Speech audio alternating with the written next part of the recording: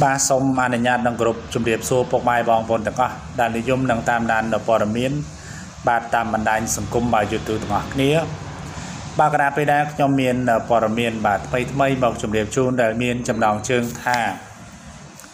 ពីរ៉ូមែនក្រោយស្ដាប់អ៊ិតជូលីណាប្អូនស្រីជីដូលជីទួតមួយច្រៀងតបខ្លួនមួយបទនេះ ធ្វើឲ្យខេមរៈស្រីមុនឡាប់ញាក់ដល់ថ្នាក់ពលពាកមួយឃ្លាយ៉ាងខ្លីថា កាលពីថ្ងៃទី27ខែកក្កដាឆ្នាំ2021ខាងផលិតកម្មរស្មីហងមាស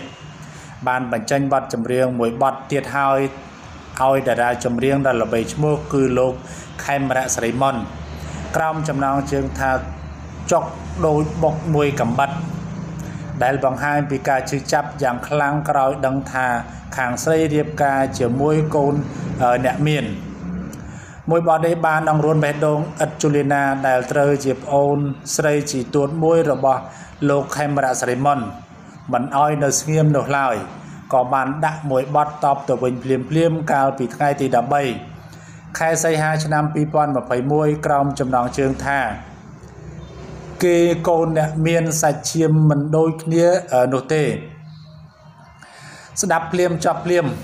បានធ្វើឲ្យលោកខេមរៈស្រីមុនឡើងភ្ញាក់ព្រឹត្ត រួចបានแชร์បទចម្រៀងរបស់អ៊ិតជូលីណាមួយបទនេះ ហើយពោលពាក្យមួយឃ្លាយ៉ាងខ្លីថាសាច់ឈាមគេមិនដូចបងយ៉ាងម៉េចនៅមិនទាន់អស់ទេសូម្បីតែប្រេនប្រេនក៏លន់មាត់សរសើរថានិពន្ធបទឯងទៀតលយណាស់ពីរោះណាស់គាត់ច្រៀងដូចបងពៅណាស់សំលេងអាយដល់ក្នុងបេះដូងព្រមទាំងនៅមានពាក្យសរសើរមិនច្រើន ជាច្រើនទៀតថាទឹកដមសម្លេងរបស់អ៊ិតជូលីណាពិតជាពិរោះផ្អែមស្រទន់និងរំដំចិត្តខ្លាំងណាស់តើដើម្បីជ្រាបកាន់តែច្បាស់សូមប្រិមិត្តបាទទាំងអស់គ្នាទស្សនាបាទរូបភាពទាំងអស់គ្នាដូចខាងក្រោមនេះបាទឥឡូវនេះបងស្រីបាទជាទួតមួយរបស់លោកខេមរៈស្រីមុនបាទច្រៀងបាទពីរោះមែនតែនបាទធ្វើឲ្យលោកខេមរៈស្រីមុនបាទភ្ញាក់ព្រឺតែម្ដងបាទ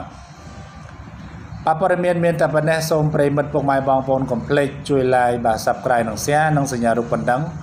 បាទដើម្បីទទួលបាននូវព័ត៌មានបាទថ្មីថ្មីជារៀងរាល់ថ្ងៃបាទសូមអរគុណនិងសូមជម្រាបលា